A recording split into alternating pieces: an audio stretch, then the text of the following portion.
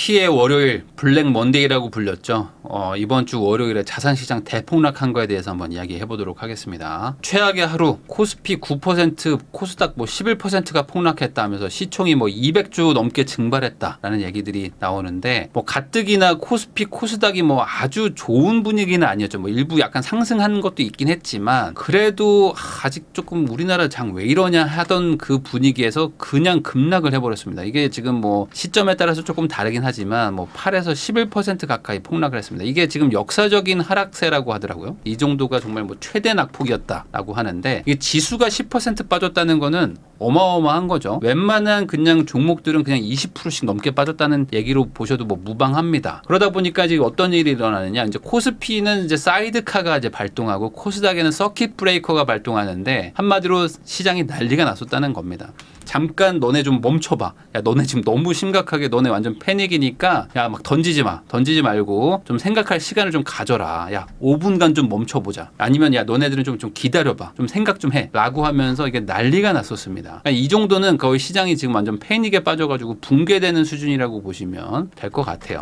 그 정도로 지금 시장이 막 심각해졌었는데 그러다 보니까 뭐 이제 국민연금이 당연히 뭐 해외 주식도 많이 갖고 있고 국내 주식도 많이 갖고 있는데 우리의 어떤 이제 노후 대비 자금이죠. 이게 그냥 20조가 한 방에 날아갔습니다. 20조가 날아가는 상황에 빠진 것도 있고 자 거기다가 이제 이런 것도 있습니다. 아시아 증시가 먼저 빠졌거든요. 근데 그리고 나서 이제 뉴욕 증시도 같이 빠지면서 이제 급락하기 시작합니다. 그러니까 이제 한마디로 전 세계가 그냥 다 빠지기 시작했다. 그럼 뭐 코스닥, 나스닥 뭐 할 거 없이 다 빠지는데 그럼 비트코인은 가만히 있었을까? 아닙니다. 비트코인도 같이 빠집니다. 그러니까 지금 사실상 부동산 빼고 코인, 나스닥, 코스피, 코스닥이면은 웬만한 분들 뭐 예금 넣는 분들 빼고는 대다수의 사람들의 자산이 동반 하락을 한 거예요. 자 그러다 보니까 인터넷에서는 지금 뭐 웃지 못할 그런 자조 섞인 짤들이 막 돌아다닙니다. 뭐냐면 뭐 이런 거 있어요. 우리가 비록 태어난 날은 다르지만 하면서 그 삼국지에 이제 유비관의 장비 있죠. 이 도원 결의를 합니다. 같은 날 한 날 한시에 죽겠다 라고 하면서 그 도원결의한 거를 이제 뭐 빗대 가지고 비트코인, 코스피, 나스닥이 의형제를 맺어 가지고 같은 날 죽는다. 이런 정도로 정말 상황이 심각했었고 자 거기다 뭐 이런 짤도 있습니다. 뭐냐면 잘 들으세요. 지금 팔면 안 됩니다. 아까 팔았어야 돼. 이거를 이제 예전에 올렸던 건데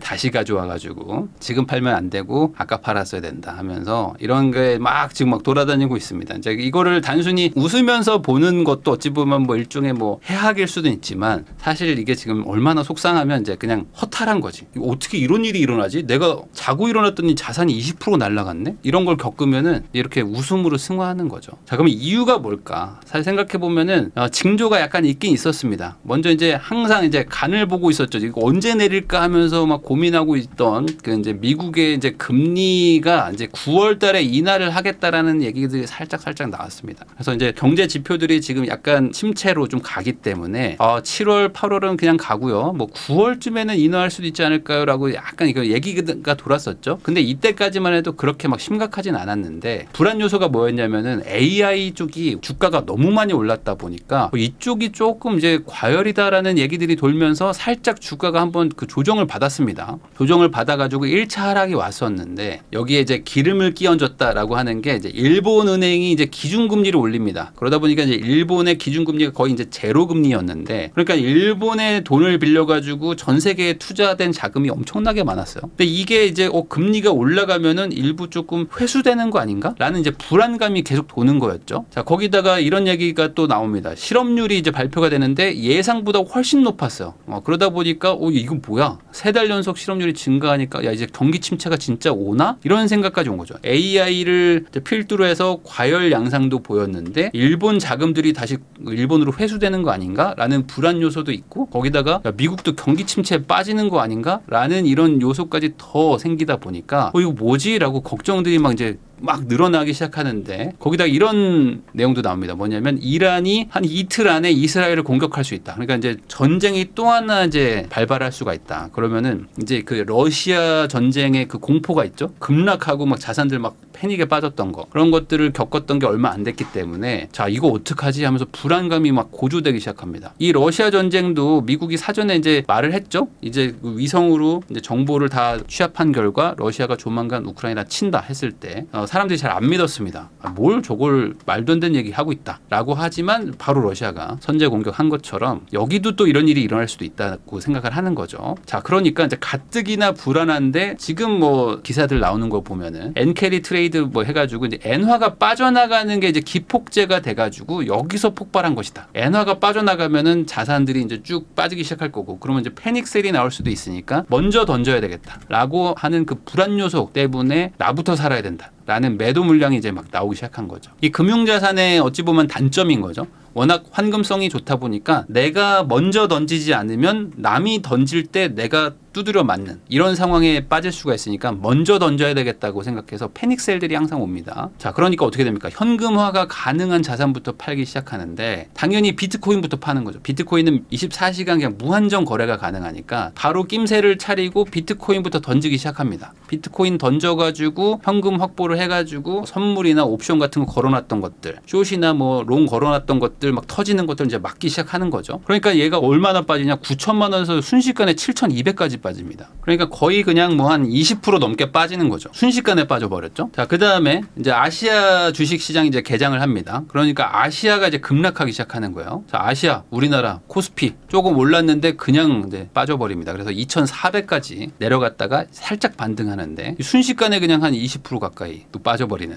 상황이 나오죠. 자, 거기다 이제 코스닥, 코스닥은 뭐 오른 것도 없는데 빠집니다. 자, 거기다 이제 니케이 지수가 가장 많이 빠졌다고 하죠. 그래서 이게 일본 주식 뭐 호황이다, 막 이런 얘기들 계속 나왔었는데 사상 최대 뭐 뚫었다. 예전에 그 잃어버린 30년을 돌파했다고 하자마자 이제 폭락하기 시작합니다. 자 그리고 이제 월요일 밤이 돼 가지고 미국 주식이 폭락하기 시작하는데 아, 나스닥도 이제 쭉 빠지죠. 나스닥 쭉 빠지고 아, 이제 엔비디아 많이 가지고 계시는 엔비디아가 요즘에 조금 빠졌었습니다. 그래서 140불 갔다가 110불, 120불 왔다 갔다 하고 있는 와중에 다시 100불까지 쭉 빠지면서 최근 들어 가지고 거의 한 2, 30%가 이제 빠지게 됐죠. 자 거기다가 이제 인텔, 인텔 가지고 있는 분들 뭐 많지는 않으실 수도 있는데 인텔이 이제 반등을 한다라고 하면서 여기서 가자 했다가 이제 다시 한번 빠지면서 지금 이제 최저 19불까지 뭐 내려가게 됐습니다. 이거 얼마 전에 30불이 넘었었어요. 거기다 테슬라도 많이들 가지고 계시는데 테슬라도 160불 뭐 170불 요때 많이들 사셨다가 야 이제 엄청나게 올라간다. 8월 8일에 어, 로보택시 뭐 발표한다 했어가지고 야 이제 테슬라는 더 이상 자동차 회사가 아니다. 이제 AI 회사다라고 했는데 이것도 이제 여지없이 빠지게 됩니다. 자 그러다 보니까 이제 어떻게 되느냐 오히려 이제 지금 들어가야 된다라고 하면서 뛰어드는 강심장들도 있어요. 그래서 지금 우리나라에서 이게 벌어집니다. 뭐냐면 이제 코스피가 다시 오늘 아침에 급등해가지고 이제 반대로 매수 사이드카가 발동합니다. 야 너네들 지금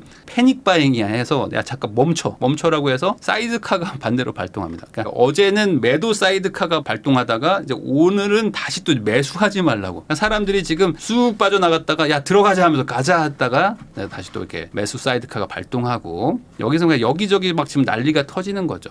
자, 근데 왜 이렇게 됐을까를 생각해 보면 갑자기 지금 샴의 법칙이 뜨고 있습니다. 샴의 법칙이 도대체 뭔데? 이 샴의 법칙이라는 게 있다고 합니다. 그래서 이게 과거 이 경기 침체를 뭐 11번을 맞췄다. 그러니까 이 적중률이 어마어마하게 높은 그런 지표 인데 이게 최근 1년 사이에 그 실업률 있죠. 실업률보다 최근 3개월의 실업률이 0.5를 넘어가면 0.5 이상 갑자기 급등하면은 경기 침체다라고 하는 그 지표가 있는데 이번에 그게 된 거예요. 그러니까 이번에 거의 뭐 적중률 90% 가까운 이 지표가 나왔다는 거는 야 이제 빼도 박도 못하는 경기 침체구나라고 생각하면서 시장의 불안감이 엄청나게 커졌다라는 거죠. 자 그러다 보니까 이제 파월 의장에 대해서 비판을 엄청나게 하고 있습니다. 지금 살벌하게 하고 있는데 금리를 먼저 내렸어야 된다. 왜 안 내렸어 가지고 이렇게 하냐? 왜 이렇게 간을 보다가 9월에 내리네 만에 하고 있다가 이렇게 일을 키우냐라고 하면서 어마어마한 비판이 생기고 있는 거예요. 왜냐하면 뭐 우리나라도 시총이 200조가 증발했지만 미국은 어떻겠습니까? 미국은 지금 사실 대다수의 그 자산들이 또 주식에 많이 들어가 있는데 우리나라 부동산 빠지는 것만큼 미국은 주가가 빠지면 큰일이 난단 말이에요. 근데 미국 주가가 급락을 해버리니까 파월 의장에 대한 비판도 엄청나게 높아지는 거죠. 왜냐면 그동안 이제 그 뭐랄까 지표가 나오긴 했었습니다. 일자리 증가폭도 좀 둔화가 되고 거기다가 이제 뭐 장단기 금리가 역전된 거는 뭐 오래됐었고요. 그러다 보니까 이제 경기가 이미 침체로 들어갔는데 지표가 좀 늦게 나오는 것 뿐이다. 지금 빨리 내려야 된다라고 말하는 분들이 많았거든요. 근데 이제 파월은 좀 데이터를 보고 갑시다. 하다가 이렇게 사고가 터져버리니까 이제 막 원성을 듣기 시작하는 겁니다. 자, 지금 금융시장은 사실상 이제 공포가 지배하는 거죠. 그래서 VIX라고 빅스 지수라는 게 있는데 그게 지금 금융위기 수준으로 갑자기 급등하기 시작합니다. 사실 뭔 일이 생긴 건 아니거든요. 그냥 걱정과 공포와 우려가 계속 이제 존재하다가 그게 어떤 기폭제를 만나가지고 공포감이 이제 팍 터져버린 건데 사실 지금 어떤 그 실제 뭐 전쟁이 났다거나 갑자기 코로나가 터졌다거나 뭐 이런 거는 아니니까. 근데 그만큼 금융시장이 아 이게 좀 과열되긴 했었는데라는 생각들을 알게 모르게 다들 했었던 거죠. 그러다 보니까 야 내가 먼저 내려야 되겠다. 내가 먼저 빠져나간다라는 그 패닉셀이 일어났던 게 아닌가. 그래서 이게 뭐 장점이라고 할 수도 있는데 사실 우리나라 사람들은 부동산 투자를 훨씬 더 많이 하시잖아요. 그러다 보니까 이제 부동산만 가지고 있는 분들도 많고 그런 분들 입장에서는 약간 지금 강 건너 불구경 같은 느낌도 있습니다. 그게 무슨 소리냐면은 다들 월요일 화요일 해가지고 세상이 막 난리 난 것처럼 막 언론도 나오고 막 뉴스도 막 나왔는데 사실 부동산을 가지고 있는 분들 있잖아요. 그런 분들은 뭔 소리야? 약간 이런 느낌도 있었어요. 그게 뭐냐면 이게 뭐 남이 안 좋은 일을 당했는데 내가 뭐 아, 이거 뭐 좀 내일이랑 상관없는데라고 생각하는 것도 좀 약간 미안한 건 있지만 어찌됐든 이게 좀 자산의 성향이 좀 다르다 보니까 실물 자산인 부동산을 가지고 있는 분들은 뭐 뭔 일 났나? 약간 뭐 이런 생각하고 있는 거죠. 왜냐면은 이제 부동산 시장이라는 거는 기본적으로 이제 공포감 때문에 움직이는 시장은 아니거든요. 이 금융자산하고 좀 다르죠. 그래서 이게 부동산이 금융자산하고 뭐 같이 움직입니다. 뭐 이런 얘기를 하시는 분들도 있는데 뭐 차트가 뭐 그렇게 같이 갈 수는 있습니다. 아무래도 뭐 경기를 큰 틀에선 따라가니까. 그렇지만 금융자산과 같은 움직임을 보인다고 말하기는 좀 어려워요. 왜 그러냐면 이 부동산이라는 거는 어찌됐든 간에 내가 거주하는 거고 내가 이걸 뭐 집값이 떨어질 것 같아가지고 팔고 갑자기 뭐 노숙을 하거나 이렇게 할 수가 없습니다. 거기다 뭐 우리 애가 지금 학교를 다니고 있는데 이걸 뭐 팔아가지고 뭐 어떡하겠어. 뭐 이런 거기 때문에 이 금융자산과 같이 움직인다고 볼 수는 없고 또 거기다가 이제 우리나라는 부동산 자산이 80% 정도 돼요. 그리고 실제로 예금과 보험을 제외하고 주식에 투자한 자산은 한 10% 정도 됩니다. 그러니까 이 금융자산 10%가 예를 들어 20%가 급락했어요. 그러면은 실제로는 2% 정도 자산에 손해가 온 겁니다. 우리나라 전체 자산 보유를 봤을 때는 그러니까 내가 금융자산만 전부 가지고 있는 분들은 정말 패닉에 빠지겠지만 우리나라 전체로 봤을 때는 집을 가지고 있는 게 거의 80%고 나머지 한 뭐 천만 원, 몇 천만 원 정도가 이제 주식에 들어갔다가 거기서 한 몇백만 원 지금 손해 본 분들 정도가 있는 거죠. 그래서 이 금융 자산이 막 패닉이 온다고 해 가지고 부동산도 같이 던져야 되겠다라는 거는 별로 없고 대부분 보통 부동산에 어떤 패닉이 오는 거는 세계 경제가 어떤 재앙의 위기 정도가 올 때 IMF라든지 아니면 정말 금융위기 같은 거라든지 미국이 무너집니다. 뭐 이런 느낌. 뭐 이런 것들이 아니라면은 이렇게 공포감으로 갈 수는 없다. 자, 오히려 지금 부동산은 약간 호재다라고 말하는 분들도 많습니다. 왜 그러냐면 이 부동산의 가장 큰 악재라고 할 수 있는 거는 결국에 유지비 싸움인데 이 유지비에 큰 영향을 주고 있었던 금리였거든요. 물론 금리가 시장 금리가 많이 내려가 가지고 요즘에 좀 낼만 합니다라고 말하는 분들이 많아지긴 했지만 그럼에도 불구하고 어쨌든 금리가 절대적인 수치 자체가 높다는 거는 불안 요소긴 하죠. 근데 이게 오히려 지금 빠른 인하 분위기로 확 바뀌었습니다. 자, 그래서 지금 제레미 시걸이라고 해서 이분이 이제 예전부터 거의 한 6개월 넘게 6개월 한 1년 가까이 파월 의장을 막 맹비난했던 분입니다. 뭐냐면 아니 지금 파월 지금 완전 잘못 알고 있다. 빨리 금리 내려야 된다. 안 그러면 이제 경기 침체를 유발한다고 하면서 이 와튼 스쿨 명예 교수님인데 요 분이 옛날부터 막 내리라고 했어. 근데 안 내렸죠. 근데 요번에 이런 사고가 터지니까 어떻게 합니까? 그거 봐 내가 내리라고 했지 하면서 더 내려야 된다. 지금 이게 0.25 가지고 되는 수준이 아니다. 이러다가 시장 붕괴가 온다. 그러니까 0.25가 아니라 0.75 내려라. 그리고 다음에 또 내려라. 해가지고 1.5를 내리라는 거야 지금. 그런데 이렇게 하는 게 아, 쉽지 않을 수 있죠. 왜냐면은 긴급 인하를 할 정도로 만약에 내린다면은 시장이 진짜 붕괴된다는 시그널을 줄 수도 있는 거 아닙니까? 그래가지고 연준에서 9월 전에 뭐 긴급 금리 인하를 하겠다라는 거는 현실적으로 쉽지 않은 확률일 것 같긴 합니다. 왜냐면 이런 일이 있었는데 그때는 이제 코로나 때라든지 이렇게 정말 재앙이 발생을 해가지고 시장이 막 붕괴되는 게 느껴질 때 이게 공포감이 아니라 실제 실존하는 그런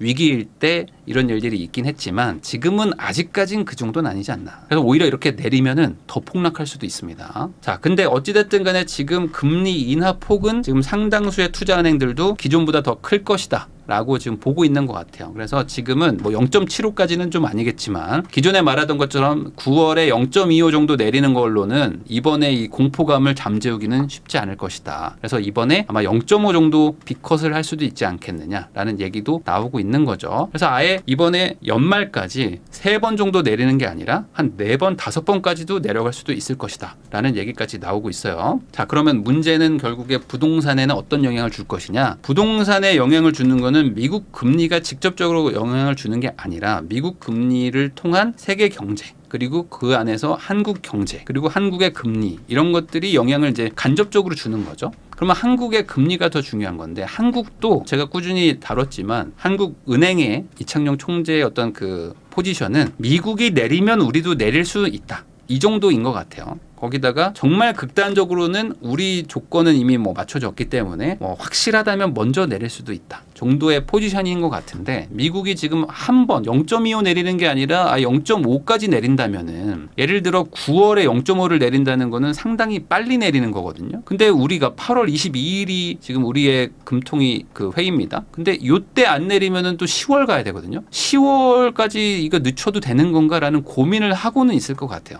어, 왜냐면은 미국이 0.5를 9월에 만약에 내린다면 우리가 너무 늦게 내리는 거일 수도 있는 거죠. 그러다 보니까 요것 때문에 또 지금 기사들이 엄청나게 나오고 있습니다. 지금 뭐 파월 의장도 지금 압박을 많이 받겠지만은 하는 총재인 이창용 총재도 지금 압박감을 느낄 수밖에 없는 상황인 거죠. 왜냐면 내가 먼저 내려야 된다고 야 이거는 안 하고 싶었는데 라는 마음이 아마 있었을 것 같은데 지금 분위기는 어떡하지? 야 무- 우리는 지금 물가 상승률도 어느 정도 좀 안정이 됐거든요. 거기다 이제 경기가 안 좋죠. 우리나라가 2분기 GDP 상승률도 뭐 지금 마이너스가 한번 찍혔기 때문에 요번에 내려야 되는 거 아닙니까? 라는 의견들도 지금 계속 나오고 있는 상황이지만 아마 쉽지는 않을 것 같다. 미국이 내리는 거 보고 같이 내리지 않을까. 자, 그래서 정리하면은 지금 언제 내려야 하나를 가지고 사실 그동안 상반기에 얘기를 했었다면은 오히려 이번에 어떤 이런 급락, 공포장을 한번 겪고 나니까 이제 내리는 건 당연한 거고 더 빨리 내리든지 아니면 9월 달에 많이 내리자 정도. 그러니까 얼마나 내리냐로 얘기가 바뀐 것 같아요. 자, 그러면 이 상황에서는 이제 금리 인하는 이제 상수라고 보고 이 상황에서 이제 금리가 내려갔을 때 어떤 영향을 줄 거냐인 거를 따져야 되는 거죠. 그러면 지금 금리 인하가 시작이 되잖아요. 뭐 9월이든 뭐 빠르면 8월이든 뭐 늦어도 10월이면 우리나라도 이제 금리 인하를 시작을 할 것이고 그 뒤에는 또 공포감이 잠재워진다면은 이제 한동안 또 횡보를 하겠지만 여전히 계속 공포감이 어떤 뭐 불안 요소가 있다 그러면은 아마 추가 금리 인하도 있을 수도 있 습니다. 자 그렇게 되면은 어찌됐든 간에 이제 심리에는 많은 영향을 줄 것 같아요. 심리는 왜요? 집값이 지금도 이렇게 비싼데 더 살 사람이 있을까요? 말하는 거는 뭐 당위적인 얘기를 하시는 분들은 뭐 있을 수 있지만 뭐 그거랑 상관없이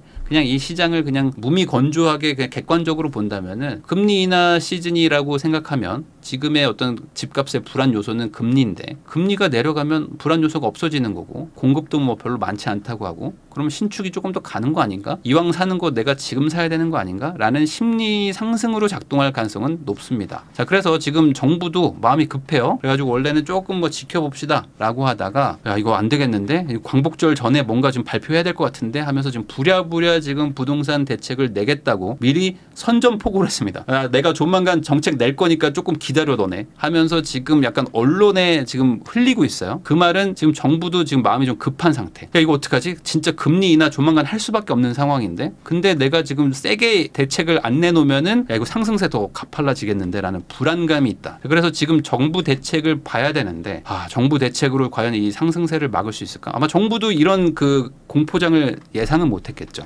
그러면은 이 상황에서 심리를 잡기가 쉽지는 않을 수가 있다. 이렇게 좀 보시고 지금 상황을 좀 판단하시는 게 좋을 것 같습니다.